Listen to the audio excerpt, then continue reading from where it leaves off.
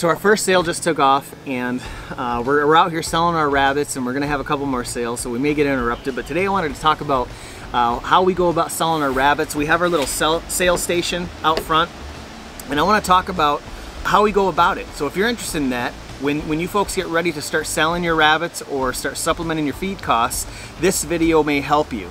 And if anybody out there that does things differently has some ideas for me at the end of the video, if you want to leave comments below, I really appreciate that. So here we go.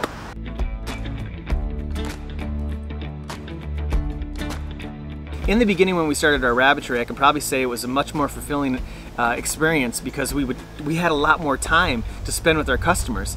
But now, you know, when we're selling sometimes a dozen a week, uh, we really don't have the time. We gotta we gotta have like half hour increments or it's a it's a long day. So our rabbitry has a sizable waiting list and we only run four bloodlines. We're not able to really sell as many rabbits as we want or help as many people as we want with every single session of litters. Some folks are waiting a long time and some folks even drive pretty far to get to this rabbitry so I still want to make sure that they have a good experience when they do because you know if you treat your customers good word of mouth gets out and the business will start to snowball. Whenever you're inviting people into your home or onto your property, there is a liability there. You want to make sure that they do not injure themselves and end up suing you because uh, they you know, were hurt. So you want to make sure in the wintertime there's no slippery surfaces. We're putting down salt. We're making sure that there's a, a clear path from their car to the rabbits. That's another reason why we're not doing rabbits all the way in the back of the property because that was a long hike.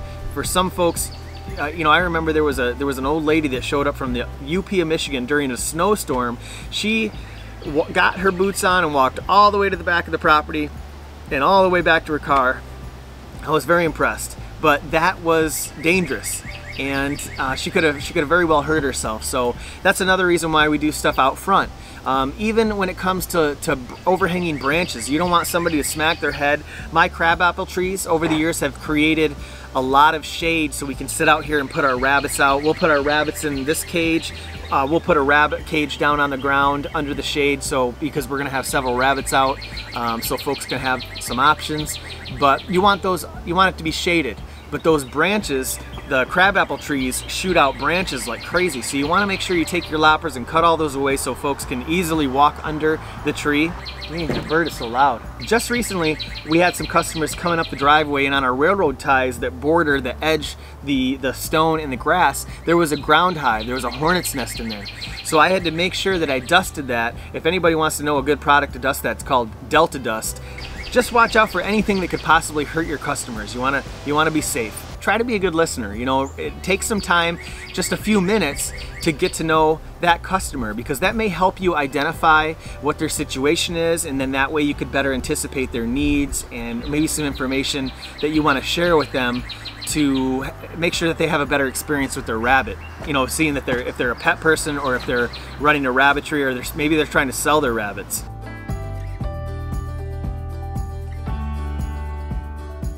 Those folks coming to your house are looking for a companion or a friend. They, they certainly don't want to talk about processing animals or discuss chemical-free meat. That's not what they're here to do. So I always remove my harvesting tools and because I want them to feel comfortable. I've also noticed over the years that customers do not want to be preached to. Even though you have you're an encyclopedia of information when it comes to rabbits, running your rabbitry, having pet rabbits. Um, you know, answer their questions if they have any. So as soon as my customers show up and they walk over to the display table, I don't start pushing all my products and my add-ons. You know, they see them there. They, if they're interested, they'll ask about it. I don't want them to feel pressured. If they're there to purchase one rabbit, that's different. I'll pull the rabbit out and I'll put it on the table. But if it's if they're there to, to pick out a rabbit, say a pet uh, then I'll let them pick one out. As soon as they're interested in something, I'll remove the rabbit and I'll put it on the table. A really cool way to display your rabbit is uh, build a two foot by two foot tower, maybe about four foot high. And surprisingly, the rabbit will just sit there. It won't actually jump off. It'll kind of just stand there. Or if you don't have a tower, you can just use a folding table like this, put a towel down or a little piece of indoor outdoor carpet, and that makes it so the rabbit doesn't have such slippery feet. So I will explain that the rabbit is a purebred.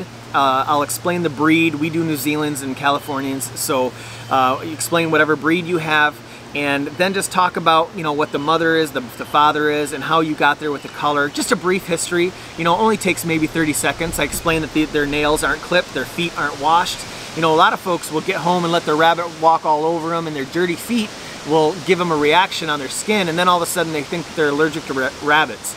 We get that call a lot. No, they're allergic to bacteria. So that you gotta wash your feet. An easy way to wash your rabbit's feet is just take them and sit them down in a baking pan about an inch of water. My wife's pulling in right now.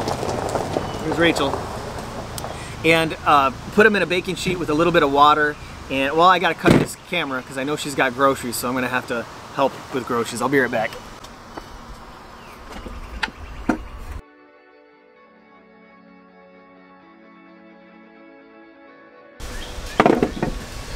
Okay, where were we? So if they're there to purchase several rabbits, you wanna make sure that you're moving it along. So ask them if it's okay, if you don't have any more questions, we'll put this rabbit in the box and then we'll move on and inspect your next rabbit. If you guys have a buddy that uh, works at a restaurant, maybe a warehouse, and see if you can find access. Eventually, you can find somebody who has access to boxes. Maybe they work in, a, I have a buddy who works in a recycling department. Ready for a rabbit. Then I'll take a razor knife and I'll I'll pop a little triangle in here like that. Just a little stab.